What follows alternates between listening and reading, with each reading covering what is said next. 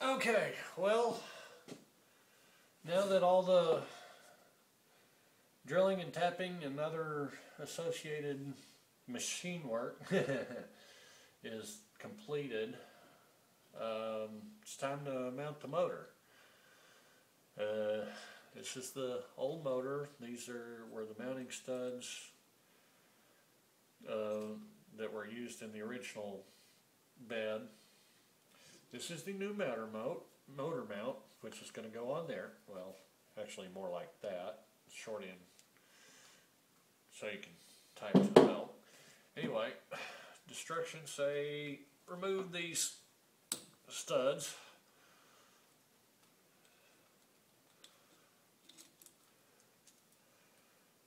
Not too difficult.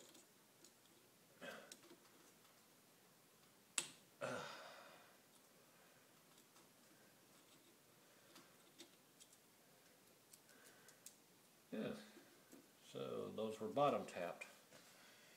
Okay, so motor like that, that goes on there. Line up the holes, grab the little flat head screws. Get at least half thread on there, started, and tighten them down. No wonder they were so short, those holes were very shallow. Oh! Now I'm wondering if I should have bought some Loctite. Oh! Thread locker. There we go. And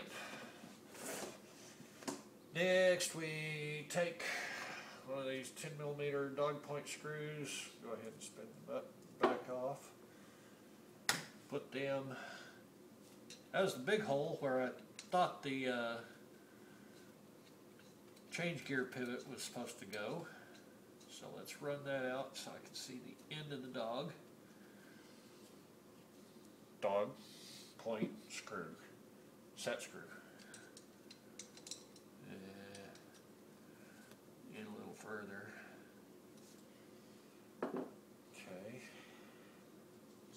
other one started. And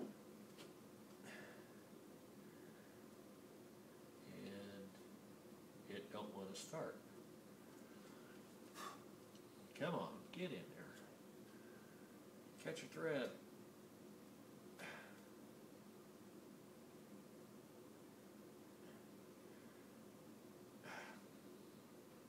Man, what is that goop?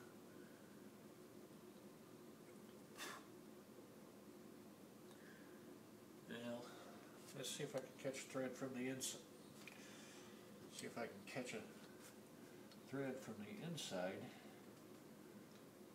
Knock all the paint and stuff off the threads. There we go. Ow.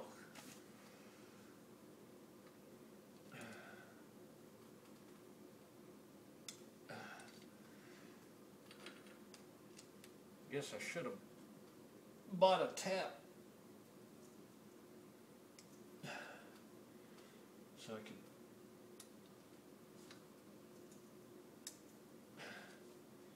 get that in there. Okay, dog point's coming through. Semi-stiff. Hitting lots of paint or whatever they put on there.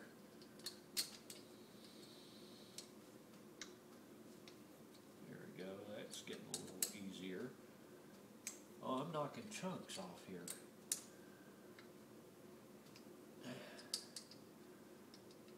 Still sort of stiff.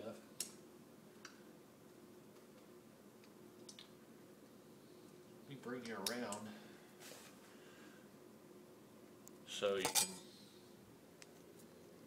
I don't know if you can really see the dog. I'm going to turn this.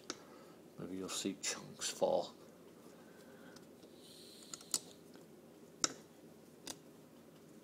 Yeah. If they did not tap it all the way through, then I may be uh, cutting threads with this set screw. It looks like it's just paint and putty or whatever they put in there. Filler. There comes some big chunks, yeah.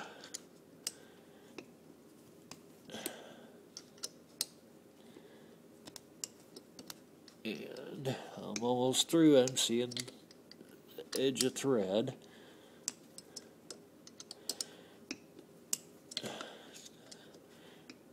I got threads.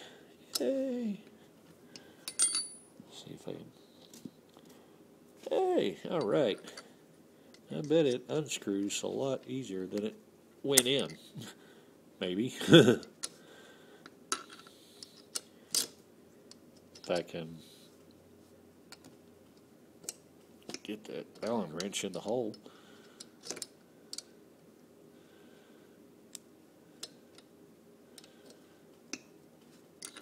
Holding a iPhone camera one-handed and using the other hand to try and fight with an Allen wrench. Well, at least I got the threads cleaned up. Let's see. Okay, there now I'm starting to spin it by hand.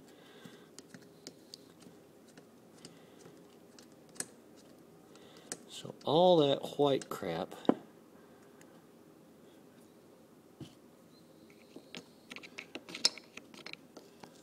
some sort of filler putty or whatever. Okay, back to my little homemade video stand. Yeah, I'm pointing the right direction. Okay, good. Now let's see if we can get it started this way. How about that? Caught a thread the first time. Yeah. Ooh. Man, that's tight. Or is that just because I'm using my left hand? uh, if you haven't watched the video saying why I haven't made videos recently, it's because I had a nice little injury. There's my scar. And I'm still recovering. Doctor limited, limited me to uh, trying to lift 10 pounds right now after my last visit. And of course that was a month and a half ago. No, a month ago. So, anyway, enough about my injuries. Let's get the motor mount onto the end of the dog. See if I can slide the belt in place. Belt on there, come on. Alright, let's put the belt on and then slide it onto the dog. That works better. And now, run this one in a little further.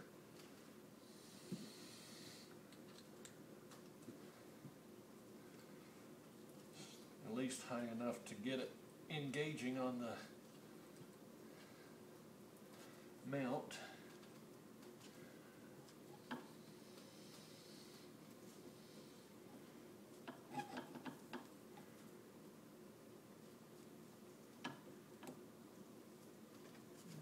Push that one back a little. Oh, that's interesting. That's something I did not expect.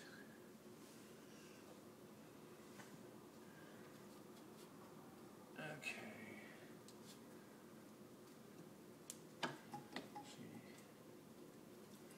Come on, doggy. Go in the hole.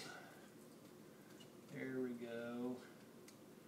There, I've got the tip of the dog in the ear, or in the motor mount. Now, let's see. Again, trying to give you a bit of a close-up. I've got a bit of an interference issue. The uh, bolt that holds the rear bolt for the headstock seems to be hitting on the motor. I do have that dog engaged and that dog engaged. But I need to adjust it a little bit. And something tells me I went out of order again. Because I was supposed to do something with this. And I think it goes in that little hole. So, let me unscrew the dogs, pull the motor back out, and set that one back in place. Take five. so, after a short break to review the instructions and pollute my lungs,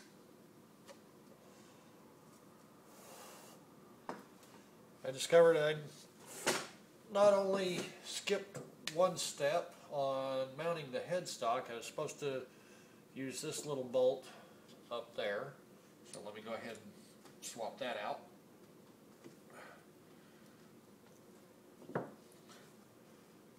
I'm going to have several leftover bolts before this is all done.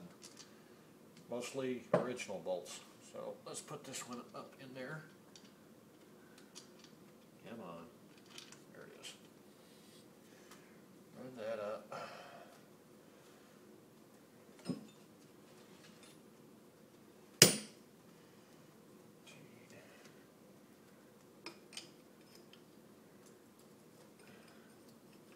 That, that looks like the right size. Let's get this crisp.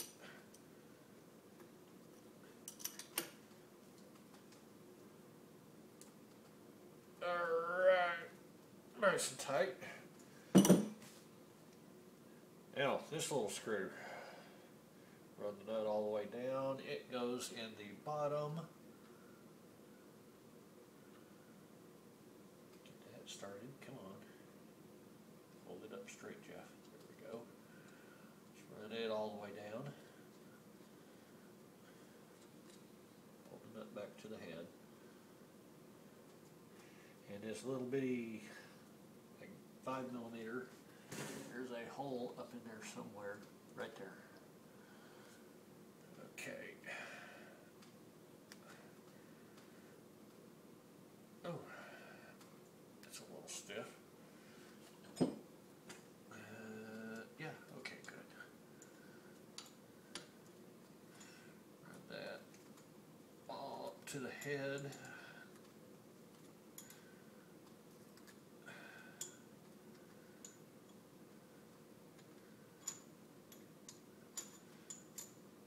Don't know if I need to bottom it out, but I'll run it up as far as it can without putting any real torque on there.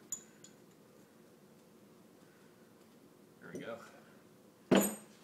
Now, once again, let's set the motor on the dogs, pull wires back through.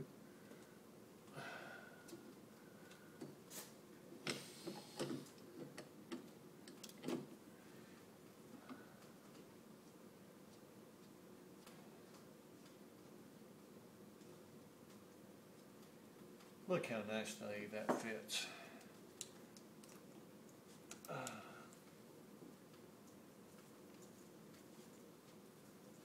Well, pull it back out of the dog.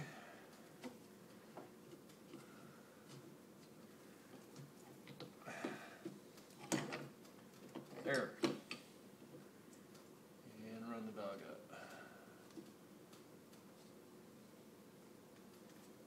Uh, went ahead and ran that up, so. Now.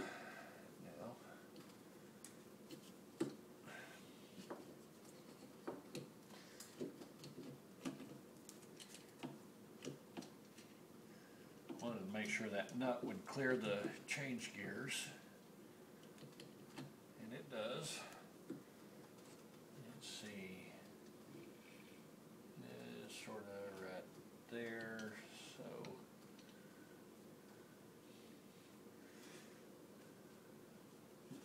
Let's get the right Allen wrench first of all, and start adjusting the motor.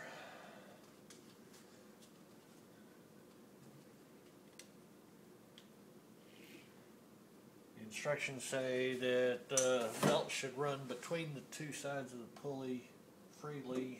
So let's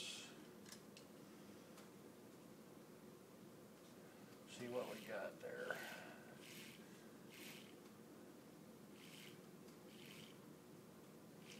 It's too far that way, so let's run this one in some. Oh, wrong way. Loosen that one some, run this one in some more.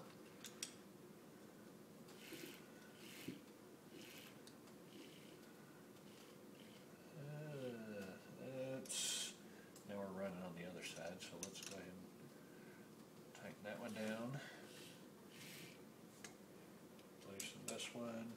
I think I'll do it about half a turn at a time. Of like the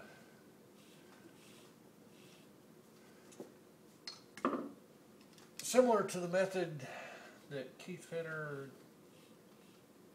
and several others have said for aligning a workpiece in a four jaw chuck. Now we're back over on this side, so let's run you back down.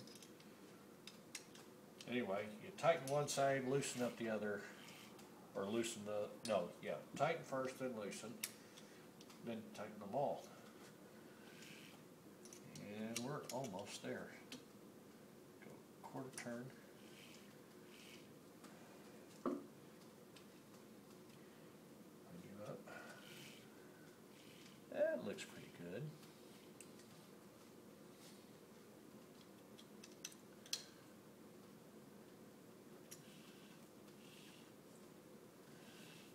Of course, being the original Harbor Freight belt, it may not have been cut straight, but I think that's sort of walking from side to side, so I think that's about where it needs to be.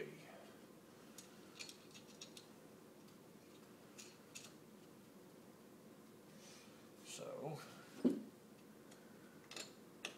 that spot, tighten down the locking nut. Whoa.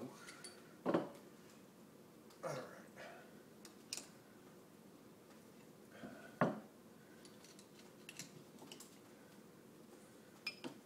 Yep, floating. There we go. Now, referring to the instructions again. uh, run this head out to put tension on the motor case.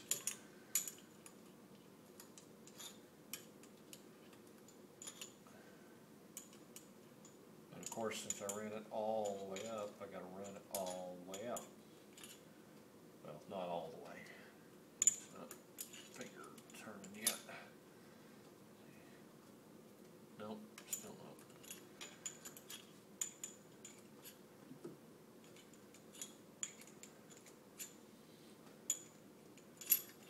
Okay.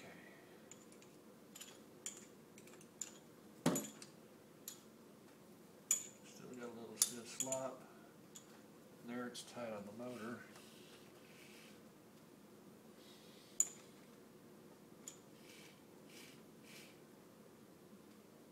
A little bit of give in the belt, but it is a cog belt, timing belt type. Let's put a little bit more pressure on there just to keep it still. And it's not moving. So we now have the motor successfully mounted. The wires are run through the hole in front. And I think we're about ready for the next step.